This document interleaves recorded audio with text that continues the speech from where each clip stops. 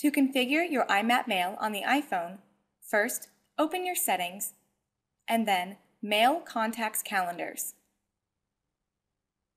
Tap on Add New Account and then Other.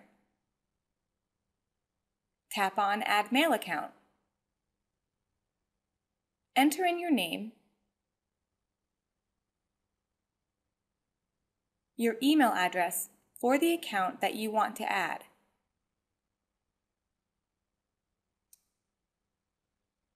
And then the password affiliated with that account.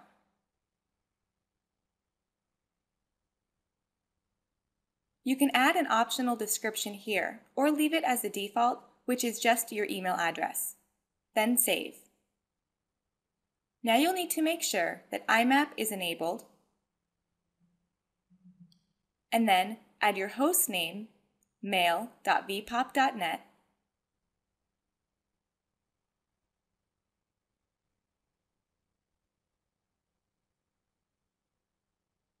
and your username and password, which is the same as your email address and password.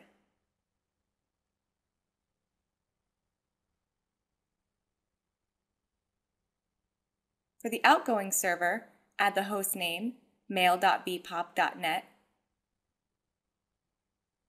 and optionally your username and password again. Save it, and you can see that my IMAP mail is now added under my mail accounts. Tap it to open it, and then on Advanced.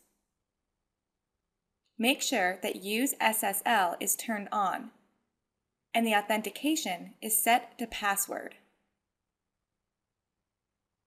The server port should be 993. Go back to the settings and open SMTP for the outgoing server.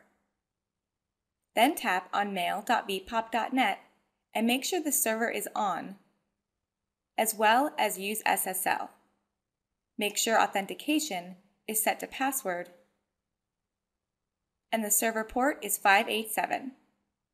And that's it. Your IMAP mail is now set up on your iPhone.